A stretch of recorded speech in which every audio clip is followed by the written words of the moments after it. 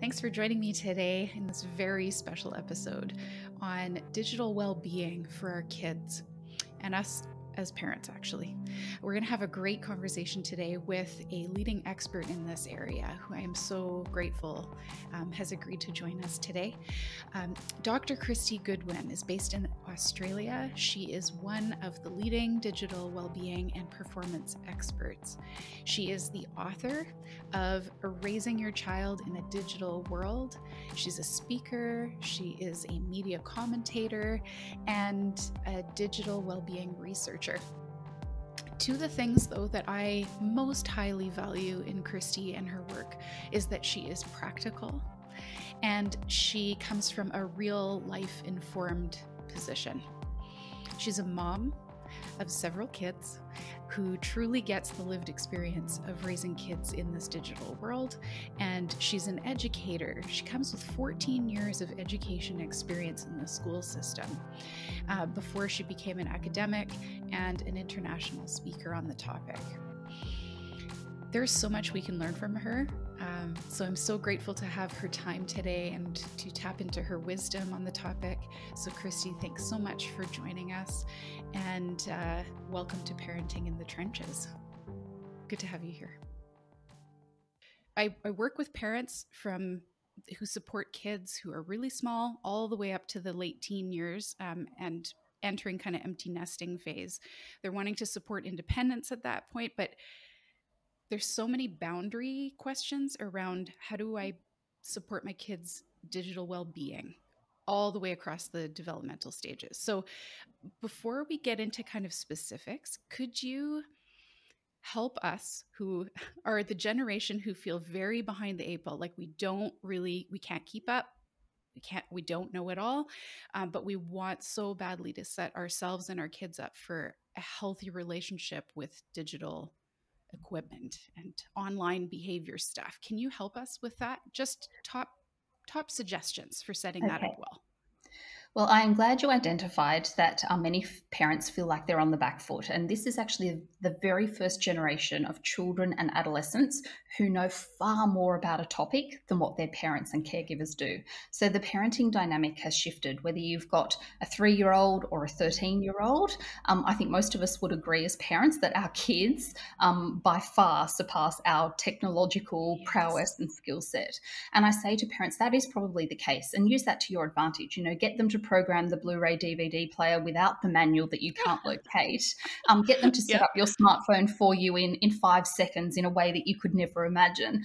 But what I'm going to mm-hmm. reassure parents is that um, you do have things that your child and adolescent doesn't have. And in particular, my research looks at the brain, and we know that the prefrontal cortex, so the part of the brain that helps us make good decisions, it helps us with problem solving, it's not fully developed until late 20s for males and early 20s for females.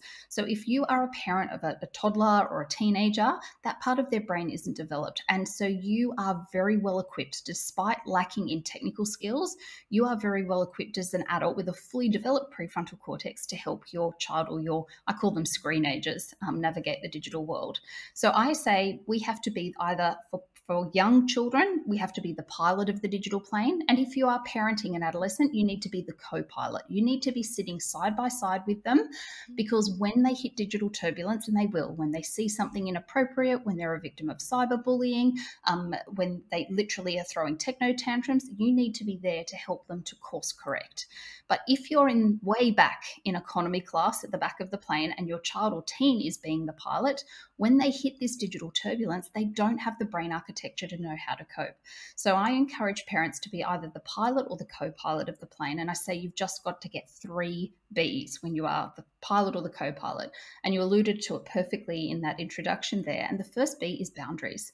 We've got to establish boundaries not on our children, but with them. We need to come up with rules and parameters. And I think um, many parents, from my experience, having spoken to thousands of parents throughout the world, many parents focus on the how much. They, they have very strict limits yeah. on how much time their children should have with totally. screens. And that is great because, and, and, it's really important.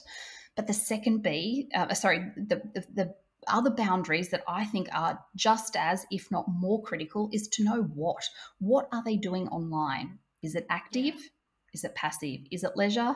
Is it learning? And this is why I think I think the pandemic has really thrust a spotlight on screen time because the whole concept of screen time has become obsolete. If they're doing remote learning, um, if they're connecting with their peers, that's very different to them just sitting there passively consuming content. So we need to focus on boundaries beyond the how much. I think we need to have boundaries around what also when the time of the day makes a huge impact on your child's physical and psychological well-being and we can come back to that if you'd like um, boundaries around where you know where are the no-go tech zones in your house?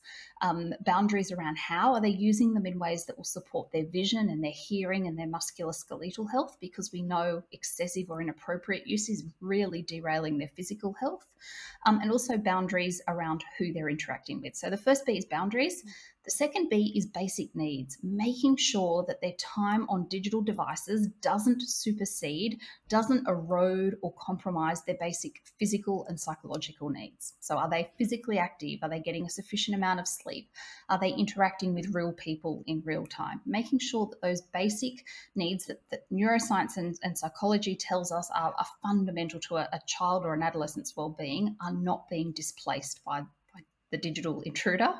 And, and the third B, and I know this one seems counterintuitive, and I know this one's really hard, but is to ensure that your child and teen has opportunities for boredom, that they have yeah. time to digitally disconnect. Um, vital for their physical health, mental well-being, but also so they can form a, a concept of who they are.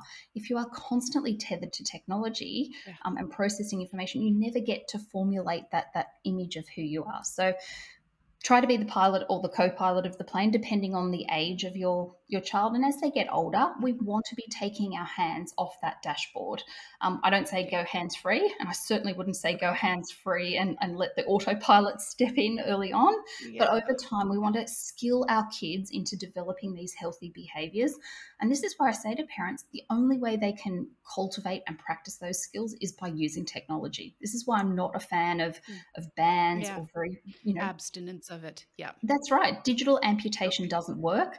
What it does is drive the behavior underground. So they'll figure out once once restrictions are lifted and we go back to some sort of normality, whose friends have more relaxed screen time rules and they'll start gravitating there. Or you might think you've confiscated or, or taken their phone away at night and they've got a decoy one or you know another one hidden somewhere else. So talk openly, be that pilot or co pilot, and your child will um, learn these skills in an important um, and realistic context too. Mm-hmm. Okay, three B's. So I'm going to add those to the show notes because I love it when you can condense something into. Because yes. oftentimes when we're flooded and overwhelmed and panicky as parents about it, we get really emotional and we lose yes. track of okay, what's my guide? What am what am I trying to accomplish here? So I'll add those three B's. Beautiful. Okay. Can we talk a bit about the techno tantrums? I that's such a mm. popular topic and I love that you've coined a term around it because man, that speaks to oh all the things, right? Yes. The transition from screen to non-screen.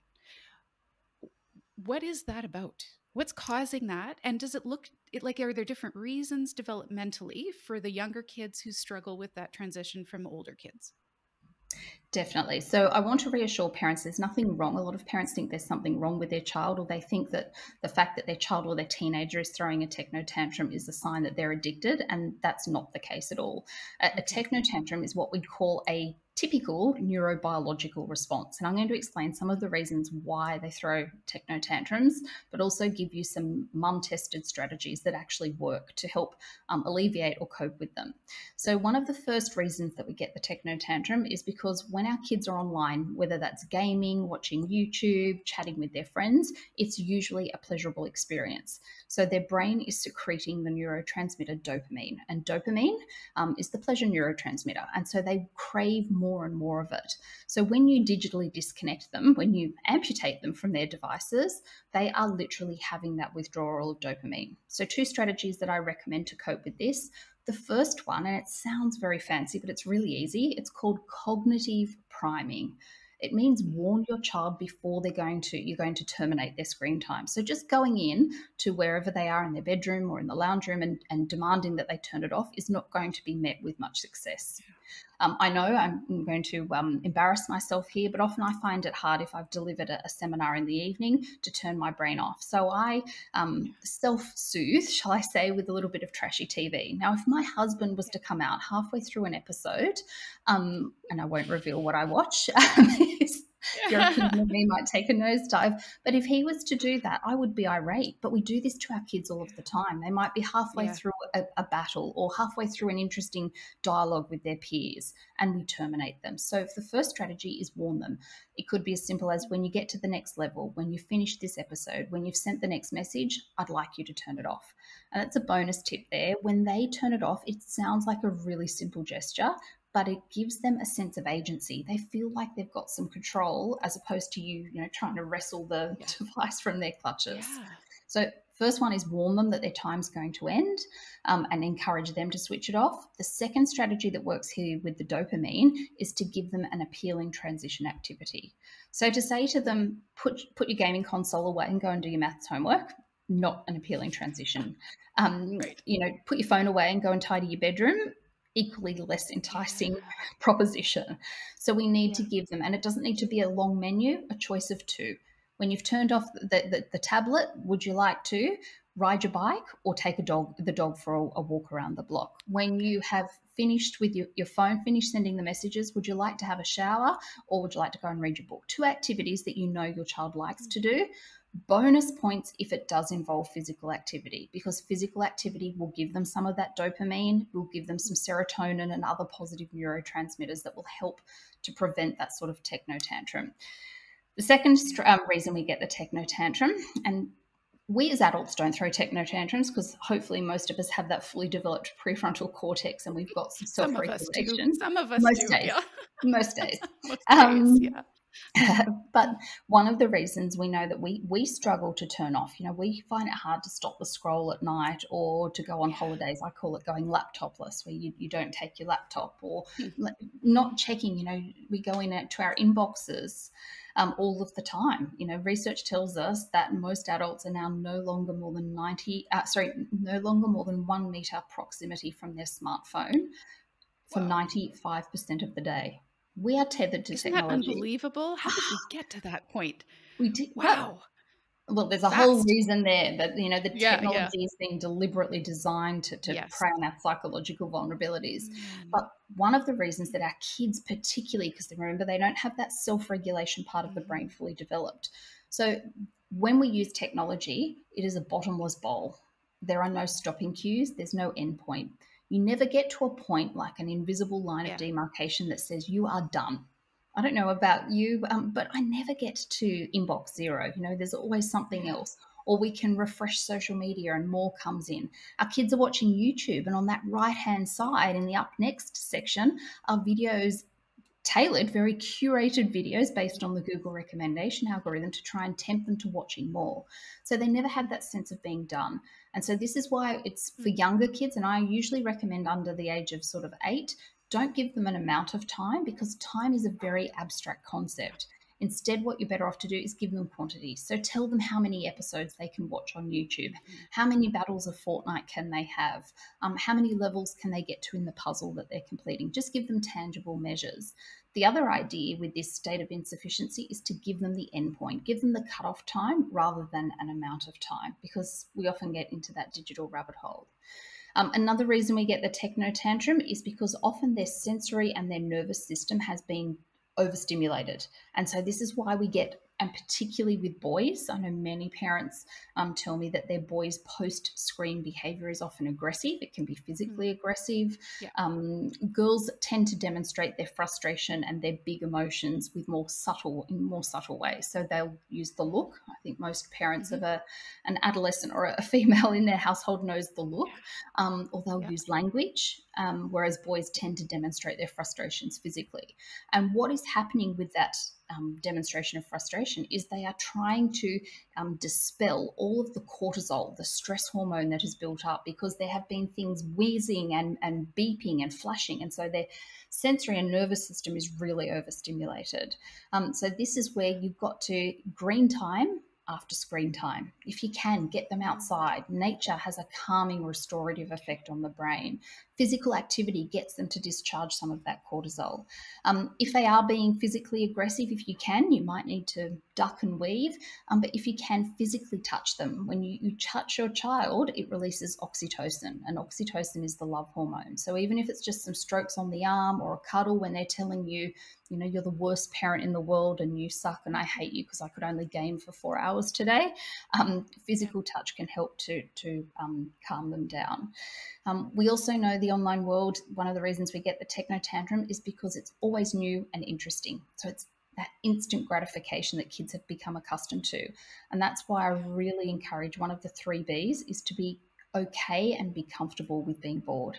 Um, if we become constantly um, if we have this constant level of expectation that I'm going to be gratified and it's going to be instant, it's going to be easy and require very minimal mental effort, then I'm going to constantly be gravitating to the screen.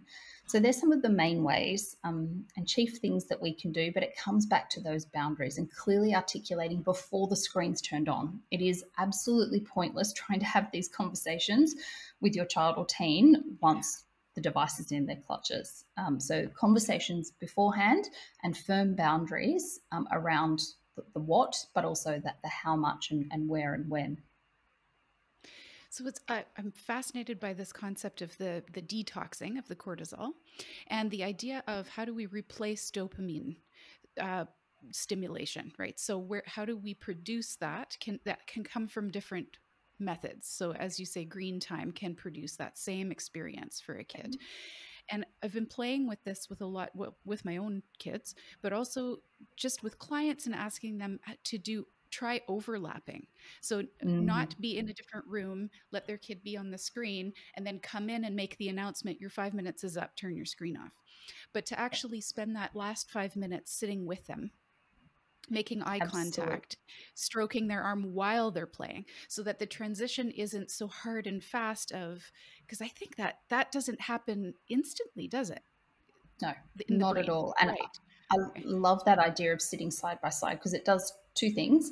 Um, one, it's a good cyber safety check, so you can, you know, do the quick check of what they're actually playing. But the second reason, and I think this one's more powerful, is that you're you're sending a powerful message to your child or teen that you value, you're interested in their online pursuits. Now, you may not be, um, and maybe you have to fake it till you make it in this regard. Yeah. Um, but if you show some sort of interest, then it becomes less of the forbidden fruit and it becomes less of something that's taboo and, and secretive. So I think there's a whole range of other benefits apart from helping with that transition, which I definitely think it does do.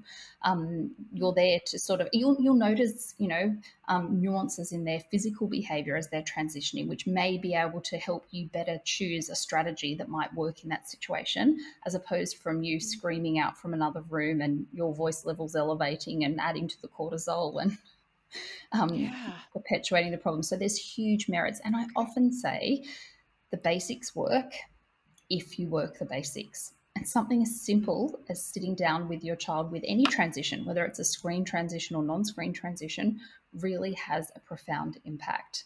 Um, we're hardwired to be part of a biological, you know, sorry, we're biologically wired to be part of a tribe. We want that connection. Um, and yeah, sitting side by side meets that need so beautifully and so easily. Yeah. So looking for ways to join, not be yes. opposed to our kids. Okay. Awesome. Yeah.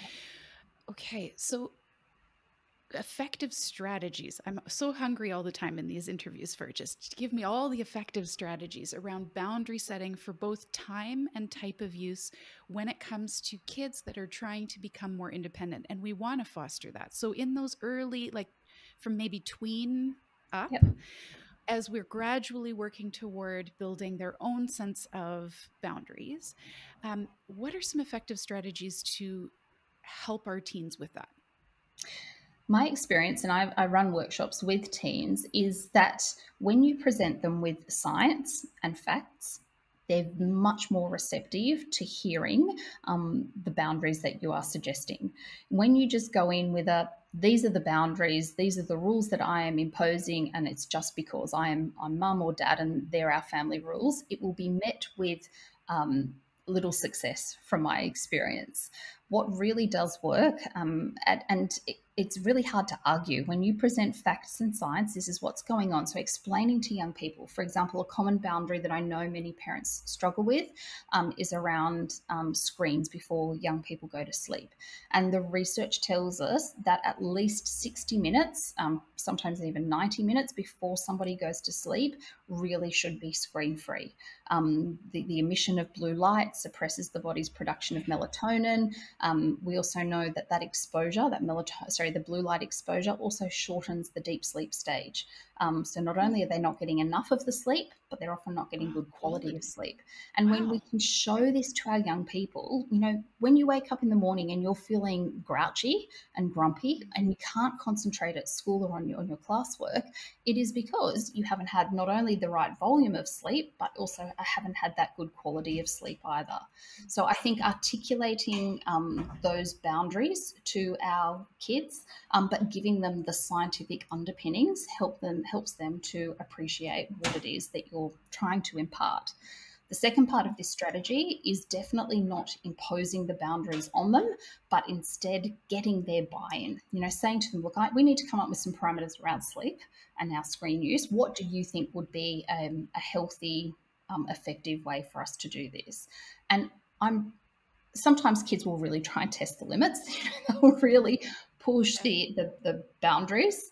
Um, but in many instances, kids have some really good insights and want strategies. So maybe it's, you know, I understand you might want to use your device before you go to bed, but could we, instead of you tapping, swiping, and pinching on your device, could you listen to an audio book or would a podcast? um, be a better better choice before you go to sleep. So getting their their buy-in again, underpinning it with that research, um, and picking the times of the day when you have these conversations. You know, it is very easy as a parent when they've you know they've emotionally combusted and you're really frustrated about how screen time is being tackled in your house and you go and you say right almost present them with a contract and say these are our new your new um, you know yeah. parameters around screen time sign on the bottom effective immediately. And it's not going to be met with success. So um, you know we know often at nighttime the prefrontal cortex fatigues. It is just worn out from constantly making decisions throughout the day. And so part of the brain is called the amygdala. It, it's the emotional hub of the brain. It fires up at night. And this bonus information is why most cyberbullying, most online predators prey at night because that logical part of the brain is off and their amygdala, their emotional hub, is firing. So, not a good time of the day to be having these conversations. So, preferably when they're a little bit more alert and awake, usually mid morning.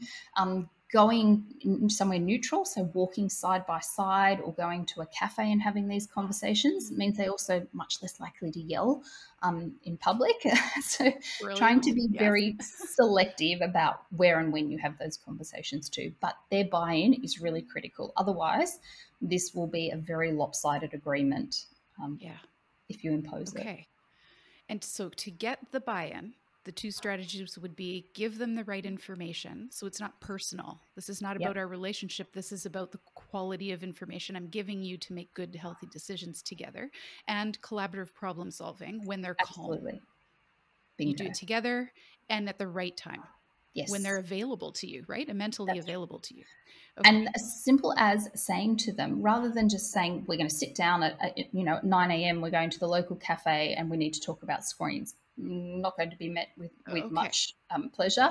Asking them, look, I, and telling them, being honest, I think it's really important that we talk about your phone use or how much you're gaming. I want us to come up with a solution together. Can you give me a couple of times when we could talk about this? And I know that might seem like we're, we're bowing down to our children, but I think again we're giving them that that sense of agency, um, and we're treating them. You know, in an adult in, in the an adult's world, you wouldn't have your boss come in many instances and demand a meeting, you know, effective immediately. So I think they're really important skills, and it's just.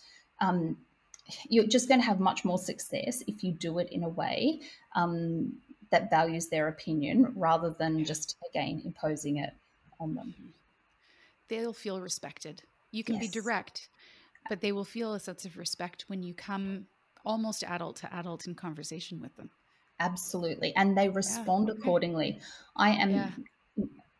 having spoken to thousands of adolescents about screens um, and, and digital well-being, I am it never ceases to amaze me. I get goosebumps as I talk about this. The yeah. sophistication of their questions and the maturity and the interest that they have in this topic because it's so pertinent to them. And the last thing they yeah. want to be told is, you know, ban it, avoid it, it's bad for you, don't use it. Yeah. Um, they recognize it's integral, um, but they also experience firsthand how um, damaging it can be at times and the the really profound impact that it's having on them. So they want to learn the best ways to use it. They just don't want to be told, you know, ban it, avoid yeah, it, the hard line. You off. Mm. Right. So don't control them. Invite yes. them into conversation. Conversation. And that's what being that co-pilot is. You're sitting alongside them um, and helping them to navigate this, rather than just saying, "I'm going to take you to that destination." Yeah. And that applies in so many ways, right? But I think about mm. how how pertinent the digital piece is because it's how we interact now with people it's how we learn through school it's how we, it's all it's the method in which we are interacting with our world in so many facets of life. So if we teach our kids those negotiation skills like you mentioned this br- brilliant like we're training them through this method to be good employees to be good partners in our marriages to be good right? It's a it's a social skill through the lens of how we're interacting is through a screen so often now but yeah. Completely. Okay. Yeah. Okay. You're so immersed in this so I, there's a couple of things i want to ask. I would love some quick and dirty tips and tricks for just specific flags or pitfalls uh, online danger zones what what's currently out there that parents should kind of have their ear to the to the line about? I'm going to say two. Um, one, I think most parents would be aware of um, social media platforms, um, TikTok in particular. Um, I think we all recognize that the death by suicide that was streamed last year and then repurposed and shared, you know, millions of times um, exemplified the pitfalls of these video sharing apps. Um, and many parents say to me, you know, I follow my young person online and I watch what they're posting and I check their DMs, and that's great. As the, the co pilot of the digital plane, mm-hmm. I certainly encourage parents to do that with their adolescent. Do not sneak into their bedroom and do the, yeah. the digital audit when they're in the shower.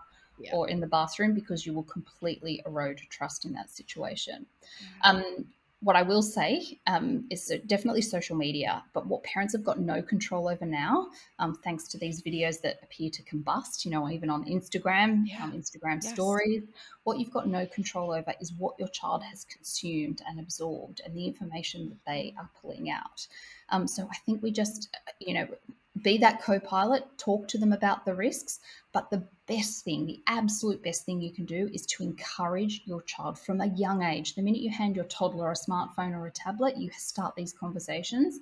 Yeah. Is that if there is a problem, if you see something inappropriate, if someone writes something unkind, if um, somebody writes a message that makes you feel uncomfortable in any way, if you see a video and, and people aren't close, you know, it can be very age appropriate conversations, but encourage them to come to you. Tell me, and I'm not going to, you know, confiscate the device. The research tells us overwhelmingly that in most cyberbullying cases, in most online predator um, situations, young people, despite programs that tell them go and tell a trusted adult, they do not go and tell yeah. a trusted adult because of the fear of digital amputation. They think they'll be cut off, they'll have the device taken away from them, the platform removed. Um, so I think definitely um, social media platforms another big concern that has come out of the pandemic, um, and they're related to social media platforms, but they're photo sharing sites, and a lot of young people are selling um, what should be very inappropriate photos online and are being remunerated for these. Um, they're under the guise of being um, anonymous to begin with, but very quickly their information um, is revealed. Um, and this is boys and girls. So I think, again, just trying to, to keep abreast of what the issues are and the apps and platforms. And it's hard. It is really hard yeah. as a parent. Um, you know, just when you get your head around TikTok, I hate to tell you, but something soon will come along and supersede that. Um, yeah. So I think it's being um, alert but not alarmed and, and having those ongoing conversations and know what it is that your child's using. And the best way to do that is through that ongoing conversation and sitting with them side by side where you can. Alert but not alarmed is so lovely to hear because I think when we're alarmed, that's when our you know, own instincts, the fight or flight response, right, as parents, is to control. And then we have the hard line that we insert yeah. and we want to remove the device and we want to. And I get, I so hear the heart of parents who go, but I'm just doing it to protect them. I just want to keep them safe, right? So I get the the intention is there, but the reaction actually backfires because then they stop telling you right? So that trust that you were talking about. I just i want to highlight that because i think we've that's our job as parents is to keep that piece in check because we can really have a powerful positive influence if we catch ourselves hearing our kids come to us even if, if it's small things not the whole story but a flag of like oh i don't know if i should do that or watch that or this came up that we can enter that with a okay tell me more rather than the instinct being okay put it away you need a break. We're not doing that. Don't use that app anymore. It's how to use it. And thank you for being honest with me and telling me I'm on your team, right? We're together trying yes. to keep you safe. Yes. Abs- absolutely. And I think if we can, and I know, again, most parents have good intentions with using screen time as a punishment because most parents say, you know, it's the only commodity in my child or adolescent's life that oh. has some meaning to them. So withdrawing something that is of meaning is an effective strategy. And the research on punishments and rewards tells us in general they, they, they're ineffective in the long term. And in general rewards and punishments work more for the parent or the caregiver than what they do for the child or adolescent. Because i pat myself in the back and say i dealt yeah, with that situation. you know i handed out a swift punishment.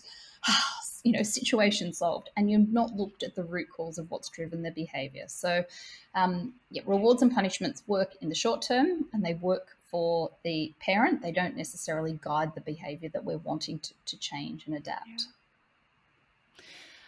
Are there physical, behavioral, emotional cues that you would suggest we watch for if our kids are consuming potentially harmful stuff, even if it's a slow drip, but they're it's starting to impact their well-being? What are we watching for? What are some of the telltale signs of okay, there's they're affected negatively? So, and this is where it can become tricky because often some of the telltale signs, um, I often call them red flags of some problematic digital behaviors, can also just be what we would consider typical stages of development. So, um, you know, changes in their mood. Well, that can be attributed yeah. to, to, hormonal changes.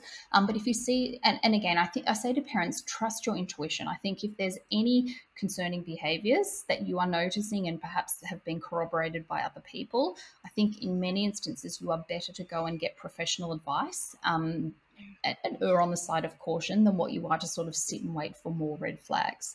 So, any significant changes in their behavior, uh, any changes in their sleep habits or patterns. So, are they staying up later? Are they getting up earlier? Many parents are telling me their kids are getting up before much earlier than what they used to to get their dose of digital while no one's supervising. Um, have there been any changes in their friendship circles? And again, that can be just a very natural stage of, of childhood and adolescent development.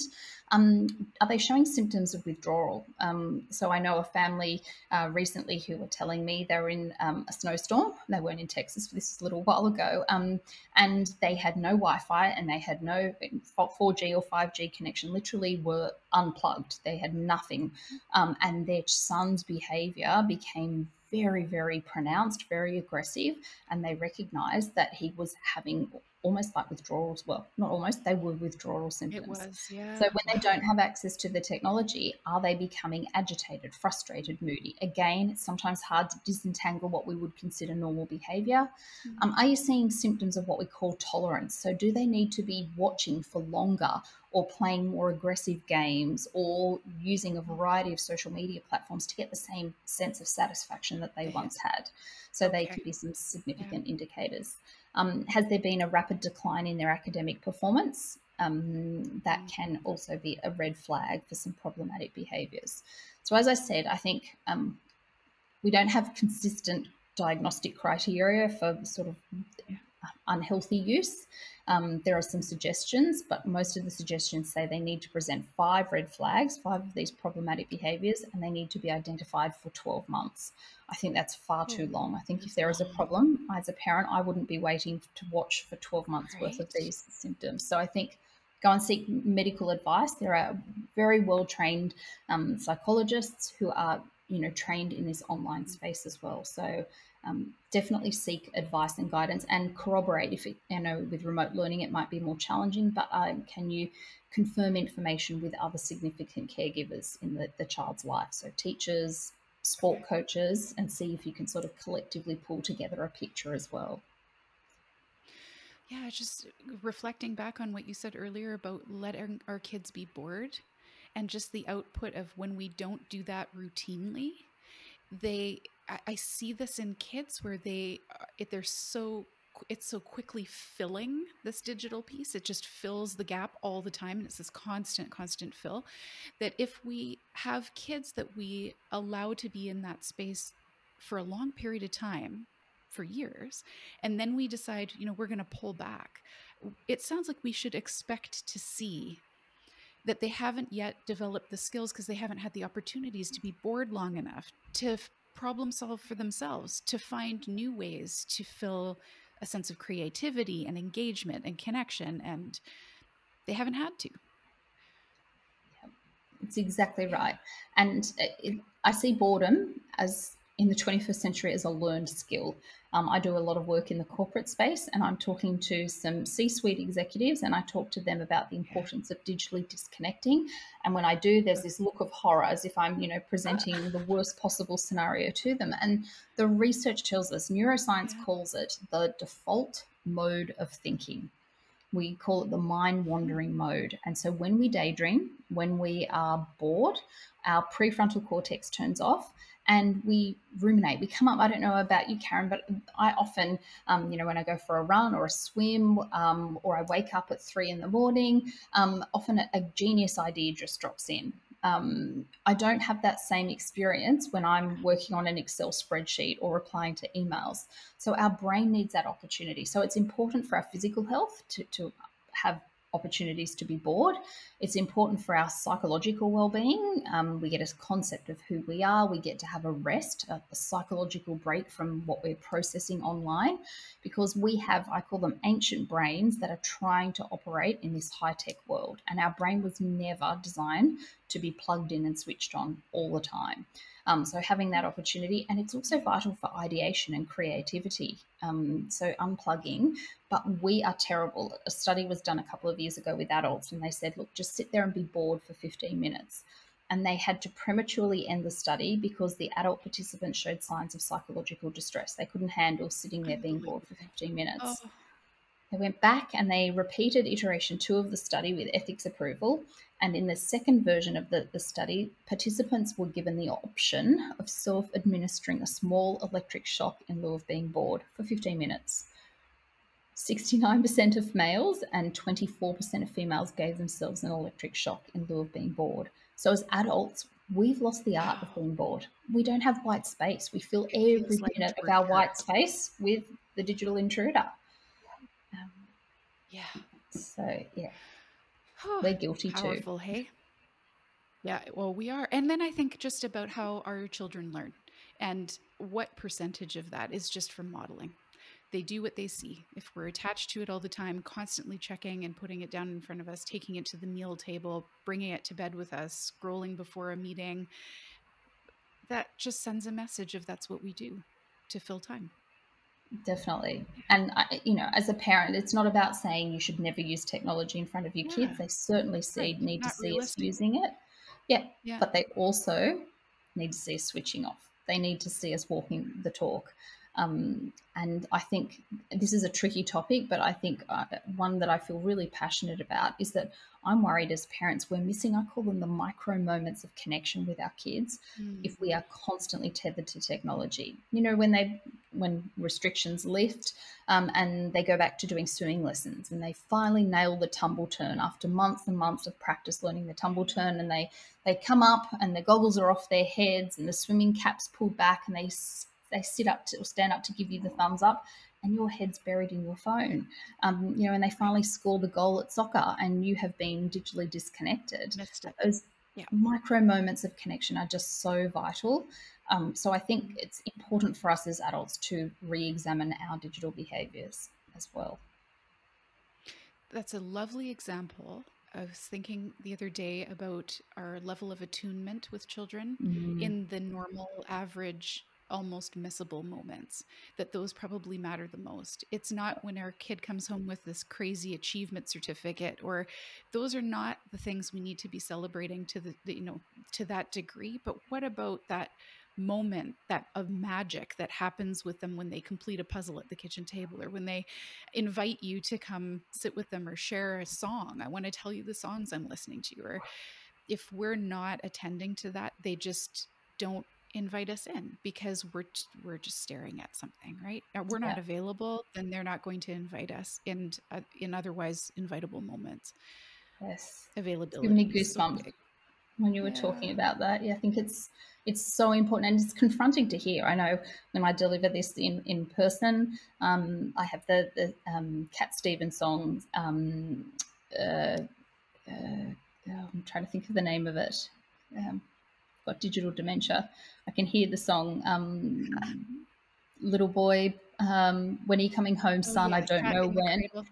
Yeah, yeah, cats in the crate. Yes, thank you. You remember that. Yeah. And I share some images of parents who are plugged in and missing those moments. And it's, you know, we just we never get this time back with our kids. And I'm realistic. It's not about never using your technology around your kids. It's certainly important to see, but they also we need to be available um, and offline so that they can plug into us. Um, pardon the pun. yeah, right. Yeah, connection in other ways, plugged in. Mm. So mindful and intentional. Yes. Being present. Yeah. Hmm. Before we end today's call, uh, you, I often go back to this I don't know what I don't know. So, because this is not my world and not my land, uh, but this is yours, can I just open it up to what's something you want so badly parents to hear? Is there something you'd love to be able to open mic, just take it take the control here and tell us what what should we what do you want us to know? I think my big message is to plan, don't ban technology. Um, it's here to stay. Whether you love it or loathe it, it is a portal for your child, for their leisure, for their learning, um, for their connection. It is a portal to, to their world. Um, and I think if we want kids and adolescents to foster healthy habits, um, they need to be able to use the technology, but they need to be able to use it with our within our um, loving constraints, and that's us hovering, not hovering over, but hovering around, um, being that that pilot of that digital plane, and and helping them with their boundaries, um, knowing what we know now about their their limited prefrontal cortex being developed.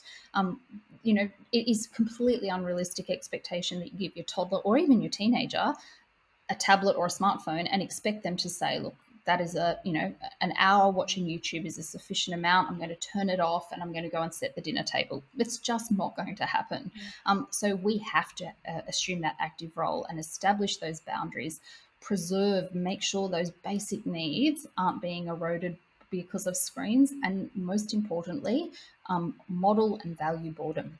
Um, and i think if we can get those things right um, we will help our kids to develop these healthy habits because the technology, um, as the pandemic has made us all appreciate, um, you know, I couldn't have imagined doing homeschooling without access to technology. Um, I think it is here to stay, and it's a vital, um, integral part of our kids' lives. So it's really, I think it's an important life skill that they learn.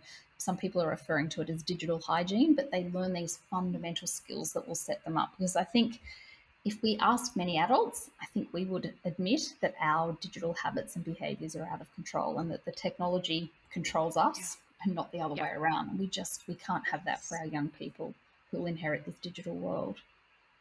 Yeah. I'm so excited to be able to get this information out to parents and I I just want to as a parent and as a professional in this area of supporting kids, I just want to say thank you for all the work that you do because Aww. without people who do this and pull it all together and deliver it in a way that we can actually hear, it's not just theory, it's well grounded and we can hear that information for context, but you have such a gift for giving us tangible ways of translating that into what am I going to do when I wake up with my kids tomorrow morning? And that's always what I look for in in trying to partner with other experts of just help us do that well. And so thank you so much for dedicating oh, that, your life to this. I so appreciate it. Thank you. That means a lot. I'm very passionate about sharing this information. I was a, a frustrated academic um, who could see all of this wonderful research being done, um, but I saw as a former teacher that it wasn't being disseminated to the people on the ground. And it wasn't until I became a parent um, that I realized there's just so much misinformation, so many myths and misnomers about the online world and children. Um, so it seemed like a natural fit as a, a self confessed nerd, um, an academic, someone who loves the research but gets frustrated when it isn't translated. Um, so to hear that means a lot. So thank you, Karen. Oh, thank you for your time today. I hope Pleasure. you have a lovely Sunday evening. Yeah. Thank you. okay. Take good care. Thanks so much. Bye for now.